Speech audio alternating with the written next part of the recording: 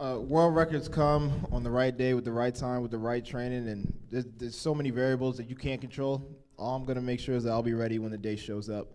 Uh, in terms of beating Bolt, uh, it's funny because when I was when he, I actually met him, I was actually walking up to go see my girlfriend, hug her, and then all of a sudden this tall figure just like walks in front of me. I'm like, who is this person that is? Oh, it's Bolt.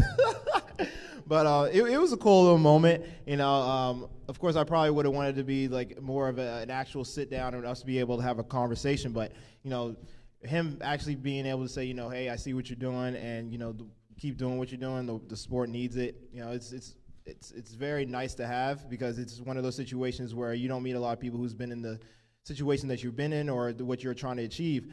So you know, it, it's crazy when you actually state your goals and people hate on your goals. I'm like, shoot, what do these goals got to do with you?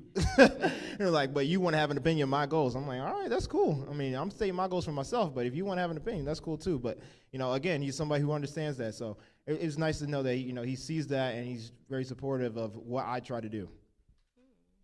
I like what you said. Just said when you put your goals out there and they hate on you for that. Yeah, like, they got an call you opinion to that. disrespectful for that. you know. Um, but to answer your questions, I would say yes, you were here. 2021, and you asking what's the difference between that and now. And I think basically I've been saying that all season. I'm pretty sure you're one of the people that covered that race, probably had an opinion as well. Um, and I just